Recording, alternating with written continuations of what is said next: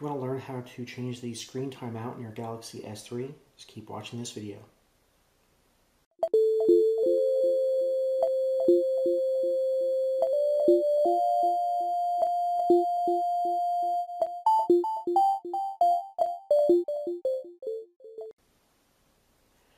Alright, if you want to change the screen timeout, come up to the top of your phone, swipe down, and if you click on this little gear icon here, that brings you into your settings. And what you're looking for is the display settings. So you click on display, and right here in the middle here, you'll see screen timeout, and you're given the option to go anywhere between 15 seconds up to 10 minutes. So you just choose which one you want, click on it, and hit the back button on your phone.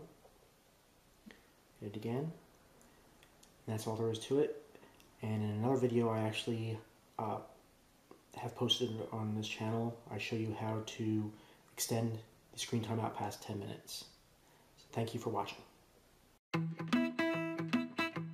If you'd like to see more Windows 8, Android, or beginners videos, click on one of these video clips and also consider subscribing to my channel.